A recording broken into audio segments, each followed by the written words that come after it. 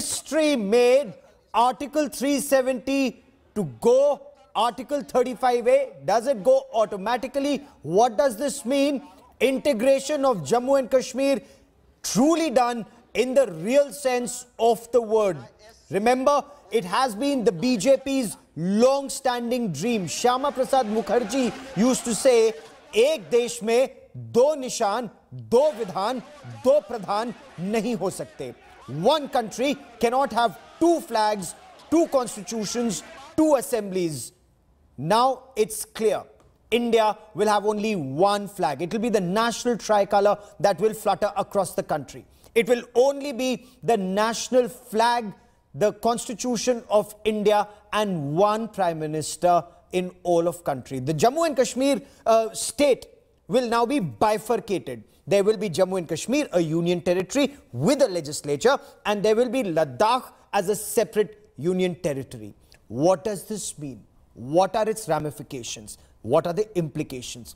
A lot of reactions coming in, but first reaction from India Today's National Affairs editor Rahul Srivastava with me in the studio, also consultant editor Shivarur. Rahul, to you first. Is this historic?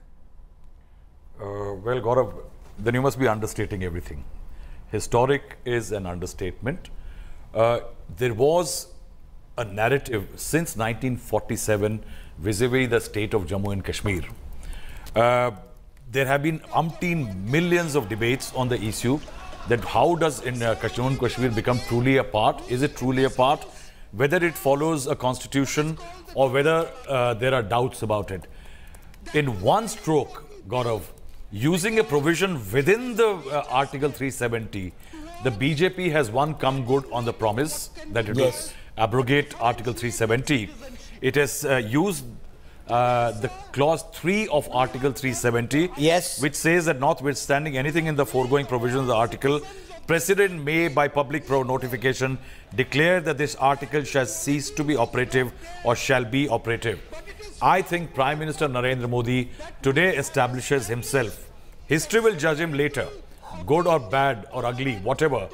He becomes the prime disruptor Okay. disruptor who dares to take on change, take on and change status quo prevailing in the country. Okay. Be it note ban, which disrupted motions all across the country, and now this. It will lead to tremendous realignment of political forces. Okay. It will mean how India looks at Pakistan and China differently. Because see, look at the situation today, Gaurav. So, That, um, on the, I'll come on the strategic aspect in just a moment. Whether this is truly historic, India Today Shujaul Haq joins me from Srinagar. Shuja, uh, I know there's curfew in, in uh, Jammu and Kashmir across the state. The first reaction that you are picking up, Shuja. ठीक है ठीक है Shuja, if you can hear me. ठीक है ठीक है Okay, I'll take a moment. I think I'll try and reestablish that link with Shuja in just a moment. Uh, Shiv, there is going to be no issue as far as security is concerned. Security. Uh, you know, all arrangements have been made, Gaurav. You know, we've got uh, inputs from our reporters that every aspect of possible security, not just in Jammu and Kashmir, but in other states, has uh, uh, you know has happened. The Home Secretary is likely to be dispatched to Jammu and Kashmir. We understand that the Prime Minister will be addressing the nation on the seventh. But as you know, the build-up to today's um, uh, announcement was filled with decisions, you know, both from Delhi as well as on the ground by the Unified Command in terms of the paramilitary, in terms of the army, across the line of control uh, in the hinterland of Jammu and Kashmir. Uh, the, you know, certain decisions were taken, uh, which many uh, you know sections found controversial about Section 144 being imposed. But these were the you know the connective tissue decisions that were required before such a monumental and decisive decision taken in Parliament. Like Rahul just mentioned, uh, Yes. this was decisiveness not seen before on this subject or literally any subject of this kind of magnitude in the last many many decades. So Is, is Amit Shah speaking? Amit Shah. Okay, okay. So I, will just come to that.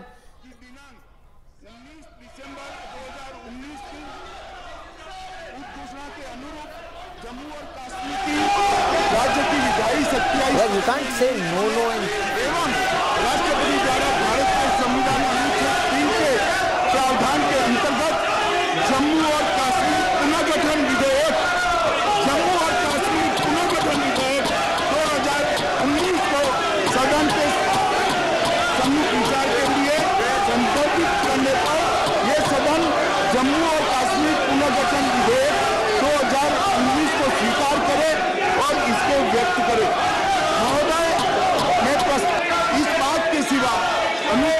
سو باپن اتوہ انو سے تین سو ایک میں نہیں کسی اقواب اتوہ اس سمیدان کے کسی انی انو سے اتوہ جمعو اور کسمیر سمیدان کے کسی انی اقوابن اتوہ کوئی قانونی دستاوے نہیں ہے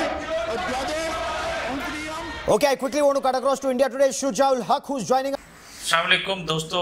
Punjabi Parchan Studio to ek nami program de naal, ek nami khabar de naal khazir. Aur aaj di khabar ਬਰੇ Sagheer ਪਾਕੋ ਦੇ ਵਿੱਚ ਇੱਕ ਵੱਡੀ ਖਬਰ ਦੀ ਹੈਸੀਅਤ ਨਾਲ ਸਾਰੇ ਤੁਸੀਂ ਸੁਣ ਚੁੱਕੇ ਹੋ। ਇਸ ਖਬਰ ਤੇ ਨਾਮਰ ਸਾਫੀ ਮੀਆਂ ਆਸਫ ਤੋਂ ਅਸੀਂ ਰਾਏ ਲਵਾਂਗੇ ਕਿ ਜਿਹੜਾ ਅੱਜ ਕਸ਼ਮੀਰ ਦੇ ਅੰਦਰ, ਇੰਡੀਆ ਦੇ ਅੰਦਰ, ਇੰਡੀਆ ਨੇ ਕਸ਼ਮੀਰ ਦੀ ਇੱਕ ਅਲੱਗਾ ਜਿਹੜੀ ਆਜ਼ਾਦ ਅਸੀਅਤ ਹੈ ਉਸ ਨੂੰ ਖਤਮ ਕਰ ਦਿੱਤਾ ਹੈ। ਇਸ ਤੇ ਕੀ ਰਿਐਕਸ਼ਨ ਆਏਗਾ? ਔਰ ਇਹ ਵੀ ਵੇਖਣ ਦੀ ਲੋੜ ਹੈ ਕਿ ਇਸ ਤੋਂ ਪਹਿਲੇ ਕਸ਼ਮੀਰ ਦੀ ਜਦੋਂ ਇੰਡੀਆ ਔਰ ਪਾਕਿਸਤਾਨ ਬਣ ਜਾਂਦੇ ਨੇ ਉਸ ਵੇਲੇ ਤੋਂ ਲੈ ਕੇ ਅੱਜ ਤੱਕ ਕਸ਼ਮੀਰ ਦੇ ਅੰਦਰ ਜੋ ਕਤਲਾਮ ਜੋ ਕਤਲੋ ਗਾਰਤ ਹੋਇਆ ਹੈ ਔਰ ਉਸ ਨੂੰ ਇੰਡੀਆ ਦੀ ਜਿਹੜੀ ਹੈ ਕੰਟਰੋਲ ਉਸ ਨੂੰ ਅੱਜ ਤੱਕ ਕਸ਼ਮੀਰੀਆਂ ਨੇ تسلیم ਨਹੀਂ ਕੀਤਾ ਔਰ ਅੱਜ ਵੀ ਜਦੋਂ ਅਸੀਂ Kashmiri population wise Kashmiri population ਨਾਲ ਨਜ਼ਰ ਪਾਉਂਦੇ ਆ ਤੇ ਤਕਰੀਬਨ ਕੋਈ 1.5 ਕਰੋੜ ਕਸ਼ਮੀਰੀ ਜਿਹੜੇ ਹਨ ਉਹ ਸਾਨੂੰ ਇਹੀ ਮੁਤਾਲਬਾ ਕਰਦੇ ਨਜ਼ਰ ਆਉਂਦੇ ਨੇ ਕਿ ਕਸ਼ਮੀਰ ਦੀ ਆਜ਼ਾਦ ਹਸੀਅਤ ਉਹ ਬਰਕਰਾਰ ਕੀਤੀ ਜਾਵੇ ਬਜਾਏ ਕਿ ਉਸ ਆਜ਼ਾਦ ਹਸੀਅਤ ਨੂੰ, ਉਸ ਤੇ ਕਬਜ਼ਾ ਛੱਡਣ ਨੂੰ, ਦੋਨੋਂ ਮੁਲਕਾਂ ਨੂੰ ਇੱਕ ਸਟੈਪ ਪਿੱਛੇ ਆ ਕੇ ਕਸ਼ਮੀਰੀਆਂ ਦੀਆਂ ਜ਼ਿੰਦਗੀਆਂ ਨੂੰ ਆਸਾਨ ਬਣਾਉਣ ਵਾਸਤੇ ਕੁਝ ਐਸਾ ਇਕਦਾਮ ਚੁੱਕਣ ਦੇ ਜਿਹੜੇ ਉਡੀਕ ਸੀ, ਉਸ ਤੋਂ ਉਡੀਕ ਹੀ ਸਾਡੀ ਰਹਿ ਗਈ ਔਰ ਇੰਡੀਆ ਨੇ ਮੋਦੀ ਸਰਕਾਰ ਨੇ ਅੱਜ ਜੋ ਕਦਮ ਚੁੱਕਿਆ ਹੈ। ਇਹਦੇ ਅਸਰਾਤ ਕੀ ਹੋਣਗੇ? ਕਿਆ ਇਹ ਇਕੱਲੇ ਕਸ਼ਮੀਰ ਤੱਕ ਇਹ ਮਸਲਾ ਰਹੇਗਾ? ਜਾਂ ਇਹ ਪੂਰੇ ਸਬ ਕੰਟੀਨੈਂਟ ਦਾ ਇੰਡੀਆ ਤੇ ਪਾਕਿਸਤਾਨ ਦੇ ਜਿਹੜੇ ਆਪਸੀ ਤਲਕਾਤ ਹਨ ਉਹ ਤਾਂ ਪਹਿਲੇ ਹੀ ਖਰਾਬ ਹਨ ਲੇਕਿਨ ਮਜ਼ੀਦ ਖਰਾਬ ਵੀ ਕਿਸ ਤਰ੍ਹਾਂ ਹੋ ਸਕਦੇ ਨੇ ਦੋਨੋਂ ਮੁਲਕਾਂ ਦੀਆਂ ਜਿਹੜੀਆਂ ਫੌਜਾਂ ਹਨ, ਉਹ ਇਸ ਟਾਈਮ ਕਿੱਥੇ ਖੜੀਆਂ ਹਨ? ਇਹਦੇ ਬਾਰੇ ਅਸੀਂ ਜਾਣਨਾ ਹੈ ਕਿਉਂਕਿ ਆਉਣ ਵਾਲੇ ਹਾਲਾਤ ਸਾਨੂੰ ਬਹੁਤ ਅਜੀਬ ਲੱਗ ਰਹੇ ਹਨ। ਯਕੀਨਨ ਮੈਂ ਤੁਹਾਨੂੰ ਇੰਡੀਆ ਇੰਡੀਅਨ ਮੀਡੀਆ ਦੀਆਂ ਉਹ ਮੈਂ ਵੀਡੀਓ ਵੀ ਤੁਹਾਡੇ ਨਾਲ ਪਹਿਲੇ ਸਾਂਝਾ ਕਰ ਚੁੱਕਾ ਹਾਂ ਕਿ ਉਸ ਖਬਰ ਨੂੰ ਕਿਸ ਤਰ੍ਹਾਂ ਲੈ ਰਹੇ ਨੇ, ਲੇਕਿਨ ਇਹਦੀ ਹਸਾਸੀਅਤ ਨੂੰ ਕੋਈ ਨਹੀਂ ਵੇਖ ਰਿਹਾ। ਠੀਕ ਹੈ, ਪਾਕਿਸਤਾਨੀ ਮੀਡੀਆ ਪਾਕਿਸਤਾਨੀ ਪਰਸਪੈਕਟਿਵ ਦਿੰਦਾ ਹੈ ਇੰਡੀਅਨ ਮੀਡੀਆ ਇੰਡੀਅਨ ਪਰਸਪੈਕਟਿਵ ਅੱਗੇ ਲੈ ਕੇ ਆਉਂਦਾ ਹੈ। ਲੇਕਿਨ ਸਾਨੂੰ ਇੱਕ ਜਿਹੜਾ ਬੁਨਿਆਦੀ ਇੱਕ ਜਿਹੜੇ ਜ਼ਮੀਨੀ ਹਕੀਕਤਾਂ ਹਨ, ਉਹਨਾਂ ਵੱਲ ਕਿਸ ਨੇ ਲੈ ਕੇ ਜਾਣਾ ਹੈ, ਉਹ ਕਿਹੜਾ ਮੀਡੀਆ ਹੈ? ਸਾਡੇ ਕੋਲ ਇਸ ਟਾਈਮ ਕੱਲਾ ਹੀ ਇੱਕ ਚੀਜ਼ ਜਿਹੜੀ ਬਚਦੀ ਹੈ, ਉਹ ਸੋਸ਼ਲ ਮੀਡੀਆ ਦੇ ਰਾਹੀਂ ਅਸੀਂ ਆਪਣੀ ਆਵਾਜ਼ ਜਿਹੜੀ ਹੈ, ਉਹ ਚੁੱਕ ਸਕਦੇ ਹਾਂ। ਅਸੀਂ ਮੀਆਂ ਆਸਫ ਤੋਂ ਪੁੱਛਦੇ ਹਾਂ, ਕਿਉਂਕਿ ਇਸ ਮਸਲੇ ਨੂੰ ਉਹ ਬਹੁਤ ਅੱਛੀ ਤਰ੍ਹਾਂ ਸਮਝਦੇ ਹਨ ਮੀਆਂ ਆਸਫ ਸਾਹਿਬ, ਇਹ ਦੱਸੋ ਕਿ ਕਸ਼ਮੀਰ ਦਾ ਫਿਊਚਰ ਤੁਸੀਂ ਅੱਗੇ ਕਿਸ ਤਰ੍ਹਾਂ ਵੇਖ ਰਹੇ ਹੋ? ਔਰ ਇਹ ਦੋਨੋਂ ਮੁਲਕਾਂ ਦੇ ਜਿਹੜੇ ਆਪਸੀ ਤਲਕਾਤ ਹਨ ਜਿਹੜੇ ਬਹੁਤ ਪਹਿਲੇ ਖਰਾਬ ਨਿਆਈ ਤੇ ਖੜੇ ਹਨ, ਉਹ ਅੱਗੇ ਕੀ ਹੋਣਗੇ? ਦੋਨੋਂ ਮੁਲਕਾਂ ਦੀਆਂ ਫੌਜਾਂ ਜਿਹੜੀਆਂ ਹਨ, ਉਹ ਇਸ ਟਾਈਮ ਕੀ ਸੋਚ ਰਹੀਆਂ ਹਨ? ਔਰ ਇੱਕ ਕਦਮ ਜਿਹੜਾ ਚੁੱਕਿਆ ਗਿਆ ਇੰਡੀਆ ਦੀ ਤਰਫੋਂ, ਕਿਆ ਇਸ ਨੂੰ ਕੋਈ ਬਿਹਤਰ ਕਰਾ, ਇਹਨੂੰ ਬਿਹਤਰ ਕਰਨਾ ਚਾਹੀਦਾ ਸੀ ਜਾਂ ਕਿ ਉਲਟਾ, ਜਿਸ ਤਰ੍ਹਾਂ ਮੈਂ ਖਿਆਲ ਕਰ ਰਹੀ ਹਾਂ ਕਿ ਤੇ ਉਲਟਾ ਹਾਲਾਤ ਵਿਗਾੜ ਦੇਵੇ ਦੇਖੋ, ਜਿਹੜਾ ਅੱਜ ਕਦਮ ਚੱਕਿਆ ਗਿਆ ਵਾ, ਇਹ ਅੱਜ ਨਹੀਂ ਚੱਕਿਆ ਗਿਆ, ਬਲਕਿ ਇਹਦੇ ਪਿੱਛੇ ਰਾਸ਼ਟਰੀਆ ਸੇਵਕ ਸਿੰਘ ਆ ਜਿਹੜੀ, ਇਹਨਾਂ ਦੀ ਜਨ ਸੰਘਿਆ ਦੀ ਬਹੁਤ ਪੁਰਾਣੀ ਕੋਸ਼ਿਸ਼ ਸ਼ਾਮਲ ਸੀ। ਜਦੋਂ 1947 ਦੇ ਵਿੱਚ ਕਸ਼ਮੀਰ ਦਾ ਮਸਲਾ ਬਣਿਆ ਔਰ ਮਹਾਰਾਜਾ ਹਰੀ ਸਿੰਘ ਨੇ ਉੱਥੋਂ ਜਾ ਕੇ ਇੱਕ ਦਸਤਾਵੇਜ਼ ਜਿਹੜੀ ਹਾਲੇ ਤੱਕ ਮੁਦਰਾਜ਼ਾ ਵੀ ਚੱਲੀ ਆ ਰਹੀ ਹੈ ਜਿਹਦੇ ਉੱਤੇ ਉਹਨੇ ਦਸਤਖਤ ਕੀਤੇ ਔਰ ਇੰਡੀਆ ਦੇ ਨਾਲ ਉਹਦਾ ਲਹਾਕ ਕੀਤਾ, ਉਦੋਂ ਵੀ ਇੱਕ ਚੀਜ਼ ਤੈਅ ਹੋਈ ਸੀ ਕਿ ਜਿਹੜਾ ਅਮੂਰੇ ਖਾਰਜਾ, ਮਵਾਸਲਾਤ ਤੇ ਖਜ਼ਾਨਾ ਜਿਹੜਾ ਹੈ, ਇਹ ਸਿਰਫ ਇੰਡੀਆ ਦੇ ਕੋਲ ਹੋਏਗਾ, ਬਾਕੀ ਹਰ ਮਾਮਲੇ ਦੇ ਵਿੱਚ ਜਿਹੜੀ ਰਿਆਸਤ ਜੰਮੂ ਕਸ਼ਮੀਰ ਆ, ਉਹ ਆਜ਼ਾਦ ਹੋਏਗੀ। ਔਰ ਕਲੀਅਰ ਕੱਟ ਉਹਦੇ ਵਿੱਚ ਮੌਜੂਦ ਆ, ਔਰ ਰਿਆਸਤ ਦਾ ਆਪਣਾ ਕਾਨੂੰਨ ਮੌਜੂਦ ਆ, ਔਰ ਰਿਆਸਤ ਦਾ ਇਹ ਕਾਨੂੰਨ 1947 ਚ ਨਹੀਂ ਬਣਿਆ, ਇਹ 1927 ਤੇ 1932 ਚ ਬਣਿਆ ਸੀ, ਜਿਹਦੇ ਤਹਿਤ ਕੋਈ ਵੀ ਪੂਰੇ ਬਰੇ ਸਗੀਰ ਦੇ ਵਿੱਚੋਂ ਜਾ ਕੇ ਉੱਥੇ ਨਾ ਤੇ ਕੋਈ ਜਾਇਦਾਦ ਖਰੀਦ ਸਕਦਾ ਸੀ, ਨਾ ਹੀ ਉੱਥੇ ਕੋਈ ਕਾਰੋਬਾਰ ਜਿਹੜੇ ਹੈ ਉਹ ਕਰ ਸਕਦਾ ਸੀ। ਯਾਨੀ ਕਿ ਰਹਿਣ ਲੋਕ ਜਾ ਕੇ ਰਹਿ ਸਕਦੇ ਸੀਗੇ ਜਿੱਦਾਂ ਅੱਜ ਵੀ ਸੈਰ ਲਈ ਜਾਈਦਾ ਜਾਂ ਹੋਟਲਾਂ 'ਚ ਜਾਈਦਾ, ਪਰ ਉੱਥੇ ਕੋਈ ਖਰੀਦਦਾਰੀ ਨਹੀਂ ਸੀ ਕਰ ਸਕਦਾ। ਅੱਛਾ, ਇਹਨਾਂ ਨੇ ਕੀ ਕੀਤਾ? ਜਦੋਂ ਇੰਡੀਆ ਦੇ ਨਾਲ ਇਹ ਚੀਜ਼ ਤੈਅ ਹੋ ਗਈ ਔਰ ਇੰਡੀਆ ਨੇ ਖਸੂਸੀ ਸਟੇਟਸ ਕਸ਼ਮੀਰ ਨੂੰ ਇਸੇ ਲਈ ਦਿੱਤਾ ਸੀਗਾ 35A ਤੇ 370 ਇਹ ਇੰਡੀਅਨ ਆਇਨ ਦੀਆਂ ਦਫਾਤ ਆ, ਜਿਹਦੇ ਤਹਿਤ ਕਸ਼ਮੀਰ ਨੂੰ ਸਪੈਸ਼ਲ ਸਟੇਟਸ ਦਿੱਤਾ ਗਿਆ ਸੀ। ਕਿ ਉਹਦੇ ਵਿੱਚ ਕੋਈ ਵੀ ਦੂਜਾ ਜਾ ਕੇ ਉੱਥੇ ਰਹਿائش ਨਹੀਂ ਰੱਖ ਸਕਦਾ, ਕੋਈ ਉੱਥੇ ਜਾ ਕੇ ਈਵਨ ਤੁਸੀਂ ਇਹ ਦੇਖੋ ਕਿ ਜੇ ਉੱਥੇ ਦੀ ਕੋਈ ਕੁੜੀ ਕਿਸੇ ਬਾਹਰਲੇ ਰਿਆਸਤ ਤੋਂ ਬਾਹਰਲੇ ਕਿਸੇ ਬੰਦੇ ਨਾਲ ਵਿਆਹ ਵੀ ਕਰ ਲੈਂਦੀ ਸੀ, ਤੇ ਉਹਦੇ ਬੱਚਿਆਂ ਨੂੰ ਵੀ ਕਸ਼ਮੀਰ ਦੀ ਸ਼ਹਿਰੀਅਤ ਨਹੀਂ ਮਿਲ ਸਕਦੀ। ਔਰ ਇੱਕ ਪਾਸੇ ਇੰਡੀਆ ਵਾਲੇ ਜਿਹੜੇ ਆ, ਜਵਾਹਰ ਲਾਲ ਨਹਿਰੂ ਜਿਹੜੇ ਪਹਿਲੇ ਵਜ਼ੀਰ ਆਜ਼ਮ ਸੀ ਇੰਡੀਆ ਦੇ, ਉਹ ਬਹੁਤ ਬਕਾਇਦਾ ਤੌਰ ਤੇ ਕਸ਼ਮੀਰ 'ਚ ਖੜੇ ਹੋ ਕੇ ਵਾਅਦੇ ਕਰਦੇ ਰਹੇ ਕਿ ਅਸੀਂ ਇਸ ਤੇ ਸਵਾਬੇ ਰਾਜ ਕਰਵਾਵਾਂਗੇ, ਅਸੀਂ ਹੱਕੇ ਰਾਜਦਹੀ ਦੇਵਾਂਗੇ ਆਵਾਮ ਨੂੰ। ਆਵਾਮ ਫੈਸਲਾ ਕਰਨਗੇ ਆਪਣੇ ਫਿਊਚਰ ਦਾ। ਉਹ ਤਾਂ ਇੱਕ ਫੱਡਾ ਚੱਲੇ ਹੀ ਆ ਰਿਹਾ ਸੀ ਪਾਕਿਸਤਾਨ ਤੇ ਇੰਡੀਆ ਦੇ ਵਿਚਕਾਰ ਕਿ ਹਾਲੇ ਤੱਕ ਇਹ ਮਸਲਾ ਚੱਲਿਆ ਆ ਰਿਹਾ। ਔਰ ਕਸ਼ੀਦਗੀ ਦੀ ਵਜ੍ਹਾ ਵੀ ਇਹੀ ਸੀ ਕਿ ਪਾਕਿਸਤਾਨ ਤੇ ਇੰਡੀਆ ਦੇ ਵਿੱਚ ਸਭ ਤੋਂ ਵੱਡੀ ਕਸ਼ੀਦਗੀ ਦੀ ਵਜ੍ਹਾ ਜਿਹੜੀ ਹੈ, ਉਹ ਕਸ਼ਮੀਰ ਦਾ ਇਸ਼ੂ ਅਗਰ ਕਸ਼ਮੀਰ ਦਾ ਇਸ਼ੂ ਹੱਲ ਹੋ ਜਾਂਦਾ ਤੇ ਮਸਲੇ ਮੁੱਕ ਜਾਣੇ ਸੀ। ਪਰ ਬਜਾਏ ਇਹਦੇ ਕਿ ਉਹਨੂੰ ਹੱਲ ਕੀਤਾ ਜਾਂਦਾ, ਮੋਦੀ ਹਕੂਮਤ ਨੇ ਇਸ ਤੋਂ ਪਹਿਲੇ ਵੀ ਭਾਰਤੀ ਜਨਤਾ ਪਾਰਟੀ ਦੀ ਹਕੂਮਤ ਜਦੋਂ ਆਈ, ਇਹਨਾਂ ਨੇ ਇਹਦੇ ਉੱਤੇ ਕੋਸ਼ਿਸ਼ ਕੀਤੀ। ਪਹਿਲੇ ਇਹਨਾਂ ਨੇ ਕਸ਼ਮੀਰ ਦੇ ਵਿੱਚ ਆਪਣੀ ਹਕੂਮਤ ਬਣਾਉਣ ਦੀ ਕੋਸ਼ਿਸ਼ ਕੀਤੀ। ਜਿਹੜੇ ਸਦਰ ਆ ਭਾਰਤੀ ਜਨਤਾ ਪਾਰਟੀ ਦਾ ਅਮਿਤ ਸ਼ਾਹ ਬੜਾ ਜ਼ੋਰ ਲਾਇਆ, ਉਹਨਾਂ ਨੇ ਕਿ ਕਿਸੇ ਤਰ੍ਹਾਂ ਕਸ਼ਮੀਰ 'ਚ ਬੀਜੇਪੀ ਦੀ ਹਕੂਮਤ ਬਣ ਜਾਵੇ, ਜਿਹੜੀ ਨਹੀਂ ਬਣ ਸਕੀ। ਉਦੋਂ ਵੀ ਇਹਨਾਂ ਨੇ ਪਹਿਲੇ ਵੀ ਇਹਦੇ ਖਿਲਾਫ ਅਦਾਲਤ 'ਚ ਗਏ ਹੋਏ ਸੀ ਕਿ ਇਹਨੂੰ ਕੈਨਸਲ ਕੀਤਾ ਜਾਵੇ ਦਫਾ 35 ਏ ਨੂੰ ਤੇ 370 ਨੂੰ। ਹੁਣ ਫਿਰ ਗਿਆ, ਫਿਰ ਰਿਆਸਤੀ ਹਾਈ ਕੋਰਟ ਨੇ ਫੈਸਲਾ ਦਿੱਤਾ ਸੀ ਕਿ ਇਹਨੂੰ ਕਿਸੇ ਸੂਰਤ ਖਤਮ ਨਹੀਂ ਕੀਤਾ ਜਾਂਦਾ, ਕਿਉਂਕਿ ਅਲਹਾਕ ਦੀ ਬੁਨਿਆਦ ਹੀ ਇਹ ਆ ਜੇ ਉਹ ਸਪੈਸ਼ਲ ਸਟੇਟਸ ਇੰਡੀਆ ਹਕੂਮਤ ਖਤਮ ਕਰਦੇ ਨੇ ਫਿਰ ਅਲਹਾਕ ਦੀ ਬੁਨਿਆਦ ਹੀ ਖਤਮ ਹੋ ਜਾਂਦੀ ਹੈ ਇੰਡੀਆ ਦੇ ਨਾਲ ਕਸ਼ਮੀਰ ਦੀ। ਫਿਰ ਜੇ ਜਬਰੀ ਤਸੱਲਤ ਆ, ਫਿਰ ਬਦਮਾਸ਼ੀ ਦੇ ਨਾਲ ਜਿਵੇਂ ਮਰਜ਼ੀ ਹਕੂਮਤ ਕੋਈ ਕਰ ਲਵੇ, ਜਿਹੜੇ ਇਲਾਕੇ ਨੂੰ ਜਾਓ, ਜਿੱਦਾਂ ਚਾਹੋ ਤੁਸੀਂ ਜਾ ਕੇ ਕਬਜ਼ਾ ਕਰਕੇ ਆਪਣੇ ਨਾਲ ਸ਼ਾਮਲ ਕਰ ਲਓ। ਫਿਰ ਉਹ ਆਈਨੀ ਹੈਸੀਅਤ ਤੇ ਰਹਿ ਨਹੀਂ ਗਈ ਹੁਣ। ਔਰ ਇਹ ਜਿਹੜਾ ਐਸਾ ਇਸ਼ੂ ਆ ਕਿ ਕਸ਼ਮੀਰ ਦੀ ਸੂਰਤ ਪਹਿਲੀ ਬਹੁਤ ਖਤਰਨਾਕ ਸੀ ਕਿ ਕਸ਼ਮੀਰ ਦੇ ਆਮ ਲੋਕਾਂ ਤੋਂ ਲੈ ਕੇ ਪੜ੍ਹੇ ਲਿਖੇ ਤਬਕੇ ਤੱਕ ਹਰ ਬੰਦਾ ਜਿਹੜਾ ਇਸ ਟਾਈਮ ਜਿਹੜੀ ਮੁਜ਼ਾਮਤ ਦੀ ਤਹਿਰੀਕ ਚੱਲ ਰਹੀ ਹੈ, ਜਿਹੜੀ ਆਜ਼ਾਦੀ ਦੀ ਤਹਿਰੀਕ ਚੱਲ ਰਹੀ ਹੈ, ਉਹ 'ਚ ਸ਼ਾਮਲ ਆ। ਇਹ ਨਹੀਂ ਕਿ ਕੋਈ ਆਮ ਮਜ਼ਦੂਰੀ ਹੋਣਗੇ ਜਾਂ ਉੱਥੇ ਪ੍ਰੋਫੈਸਰ ਤੱਕ ਜਿਹੜੇ ਇੰਤਹਾਈ ਪੜ੍ਹੇ ਲਿਖੇ ਤਰੀਨ ਲੋਕ ਆ, ਉਹ ਵੀ ਇਸ ਟਾਈਮ ਹਥਿਆਰ ਚੁੱਕ ਕੇ ਦੇ ਵਿੱਚ ਸ਼ਾਮਲ ਹੋਏ ਆ। ਬੁਰਹਾਨ ਵਾਨੀ ਤੋਂ ਬਾਅਦ ਜਿਹੜੀ ਤਹਿਰੀਕ ਸੀ, ਉਹ ਹੋਰ ਕਈ ਸਟੈਪ ਅੱਗੇ ਚਲੀ ਗਈ।